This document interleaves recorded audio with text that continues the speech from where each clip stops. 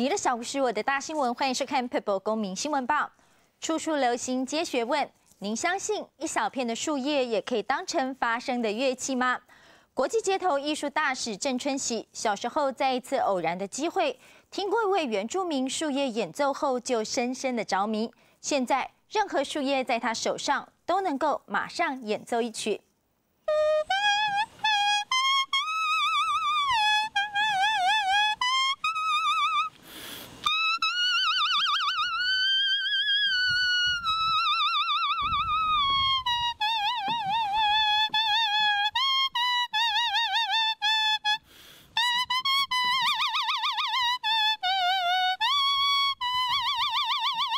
从小呢就这个学到这种所谓的树叶哈叶笛，那日本人他叫做草笛啊，那事实上都是相同的，就利用草叶、花瓣、树叶，哦来当成簧片，啊就是这样啊，像我现在这个手手指呢，哦做的手势啊，就像一张嘴巴，这个叶面啊。压在这个啊上唇上，啊啊压的宽度呢，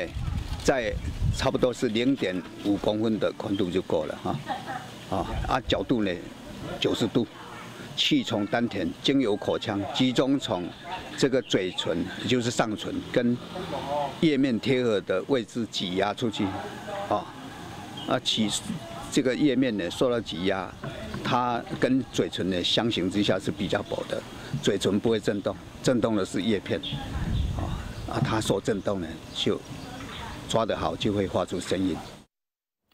在台南关庙区北头里的关帝庙，有一群为了宋江义阵打拼的伊娜，他们有的来自于单亲或者是新移民的家庭，但凭着对于宋江镇的喜爱，利用放学的时候在庙前练习。许多大人看在眼里，也都非常的感动，纷纷出钱出力帮忙他们。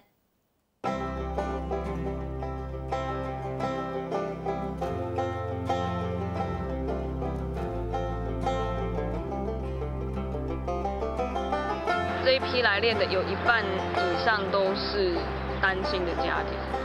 有好多个，好多个就是那种爸爸自己带小孩的，然后妈妈刚好又是。外籍配偶这样。我感觉讲比较头的香港，伊所操练出来迄几个阵势吼，甲目前外面所看的主流的相共练习无共款的所在。哦，阮除了拍面服装以外，阮还有其他特色，哦，包括阮的平时部分吼。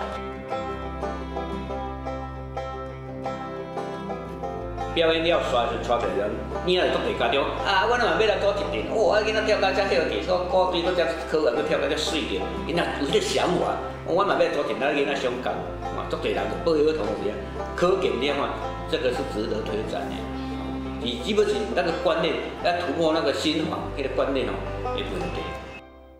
很多在商业媒体上看不到的报道，透过公民新闻与您分享。也希望更多人可以一起加入公民记者的行列，拿起相机记录报道身边被忽略的议题。p e o p l e 公民新闻报，我们下次见。